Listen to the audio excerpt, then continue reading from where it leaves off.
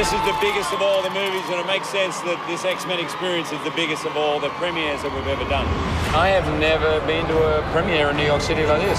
We're in Leicester Square, London. Days of Future Past Russian premiere. It's the first time for me in Beijing. In premiere in Singapore, I'm really happy.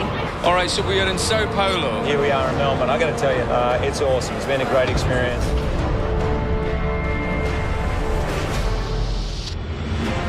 This has been an exhilarating week. I'm so proud of the movie.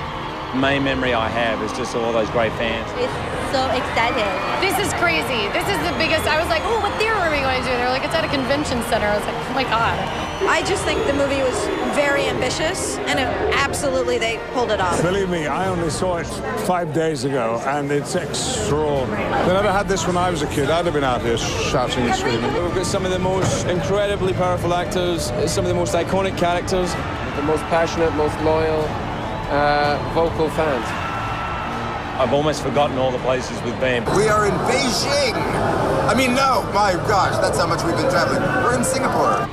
Everywhere we've been, the events have been big, like the movie is big, and it's really exciting.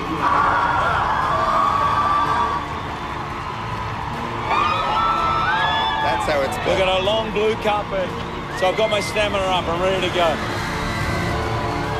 I think fans should expect to be surprised. Every single person that I've encountered since I arrived here in Sao Paulo has been delightful.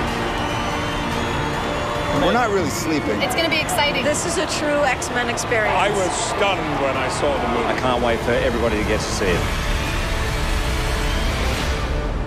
Follow the X-Men experience. Hashtag. Hashtag. Hashtag. Hashtag X-Men Live.